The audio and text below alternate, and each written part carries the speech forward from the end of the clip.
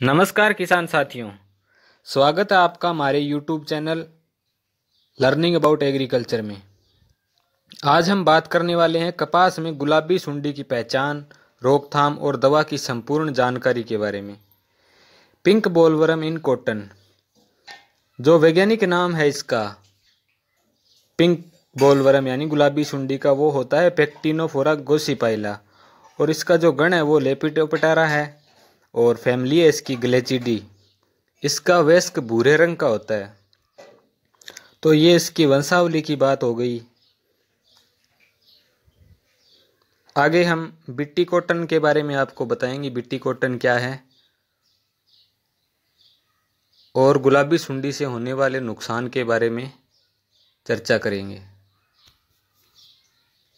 तो इसका जो वेस्क है, वो भूरे रंग का होता है और परिपक्व लार्वा गुलाबी रंग का दिखाई देता है। पिंक बोलवरम इन बिट्टी कॉटन। बिट्टी का पूरा नाम दोस्तों बेसिलस थुरिंजियसिस होता है, जो एक जीन है। इस जीन को कपास के बीजों में अंतर्निहित किया गया या डाला गया है, ताकि कपास के बीजों में रोग व कीटों के प्रति प्रतिरोधक क्षमता बनी रहे। यह आपको इन्फेक्टेड टिंडा दिखाई दे रहा है।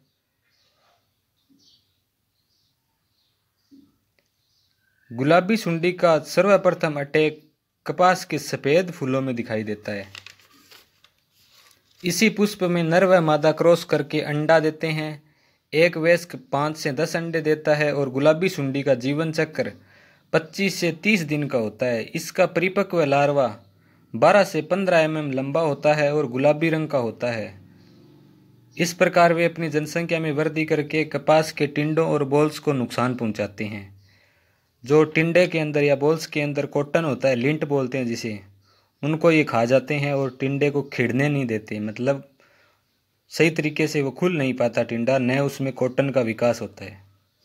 तो इन्फेक्टेड आप देख ही रहे हैं, ये गुलाबी सुंडी दिखाई दे रही है आपको कॉटन बॉल के अंदर। अब बात करते हैं आगे रोकथाम और दवाई की जानकारी के बारे में। पिंक बॉलवर्म, गुलाबी फूलों में आने के बाद इसको कंट्रोल कर पाना मुश्किल है। इसलिए किसान भाई दैनिक रूप से खेत की देखभाल करे व खेत के चारों कोनों पर, दो जगह बीच में और चारों कोनों पर चार से छः फिरोमोन ट्रैप ज़रूर लगाएँ, जिससे कि वो आपके खेत की चौकीदारी करते रहेंगे। और जैसे ही आपको खेत में कोई गुलाबी सुंडी आएगी तो आपको पता लग जाएगा। इसके पश्चात आप सिंथेटिक दवाओं का स्प्रे करना शुरू कर सकते हैं। सिंथेटिक दवाओं में आप यूज़ कर सकते हैं मोनोक्रोटोफोस ट्राइजोफोस डेल्टामेथ्रिन इसके अलावा किसान भाई बायोलॉजिकल इंसेक्टिसाइड जो पाउडर फॉर्म में आता है, उसको 200 ग्राम प्रति एकड़ के हिसाब से छिड़काव कर सकते हैं। इससे आपकी फ़सल में रोग व कीटों के प्रति प्रतिरोधक क्षमता बनी रहेगी। धन्यवाद किसान साथियों। Please like the video and subscribe over channel